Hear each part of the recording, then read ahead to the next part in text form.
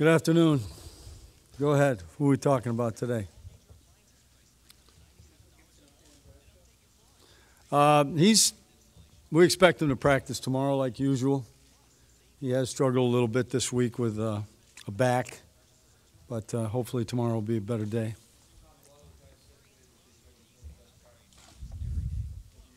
Good energy, real good energy. Still some stuff to clean up, but good energy. Guys were flying around and did a nice job all the way through.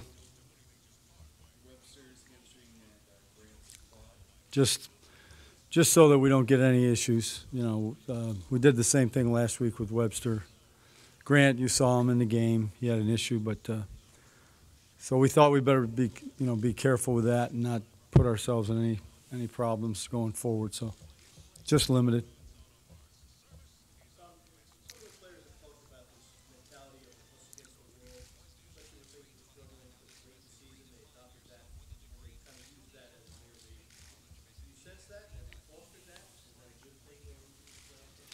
Well, uh, I haven't, I have not uh, sensed that for three or four weeks, but certainly uh, we take a straw poll here. It's, it's us against the world. There's no doubt about that. So uh, we haven't really pushed any buttons with regard to that, but uh, the truth and the reality are, are what it is. Well, you got to believe. All things are possible for those who believe. We've been uh, working that one real hard for probably uh, for a while. So, yeah, that's a uh, major theme of ours, and uh, keep the dream alive is another one. Not out here, no. Thank you.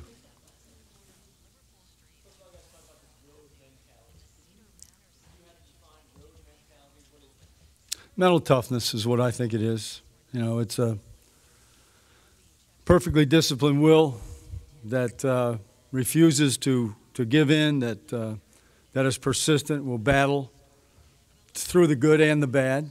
It's, uh, you know, the physical side of the game, but also the mental side of the game, the resiliency, the, uh, just the, uh, the ability to see things through to the very end, believing you're going to win. He did. Yes, he did.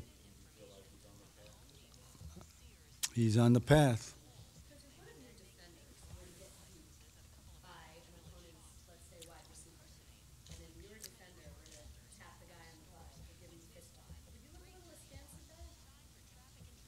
I don't see any of that happening. I, I, wouldn't even see that happening. I know if I got beat, then I, that would be the least likely thing that I would do. But I'm not sure if you have a specific reference or not. But I think it would be, if you're talking about the game and the highly competitiveness of the game and the seriousness of the game and where the game is, I, you know, guys are going to play hard. They're going we have great respect for the Packers. They're going to play hard. Guys are going to play hard on both sides of the ball, and you're going to do the very, very best you can. And uh, but during the course of the game, I, I think it'll be extremely competitive. I remember that. No. I, I, I thought it was an, an acknowledgement of respect, that's all. From a very, very good football player, veteran football player, leads the league in interceptions.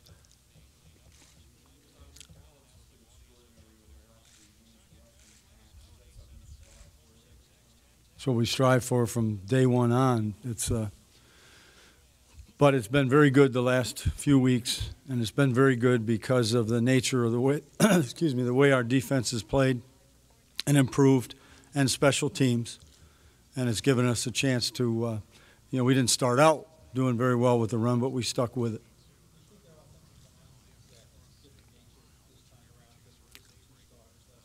They were, and they were missing a couple of linebackers too. So it's a part of our game. We were missing a couple too.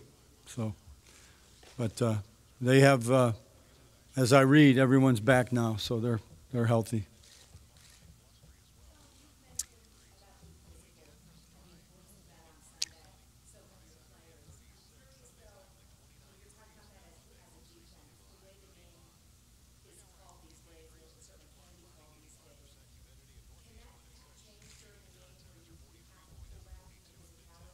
No.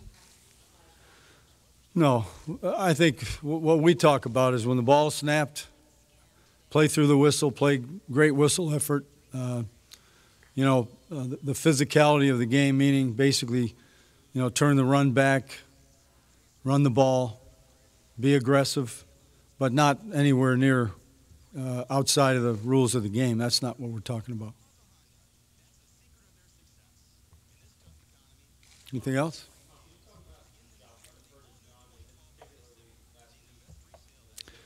Outstanding last week. You you have a uh, a weapon such as Weems or whoever. We've we've faced an awful lot of very very good return men, both uh, punt return and kickoff return. But the fact that uh, there were no punt return yardage, although we would certainly like to have the touchback go out of bounds at the three, but uh, the three balls that he did kick were out of bounds, were, were well placed, very good directional uh, punts, and, uh, and helped us tremendously because of the nature of the returner.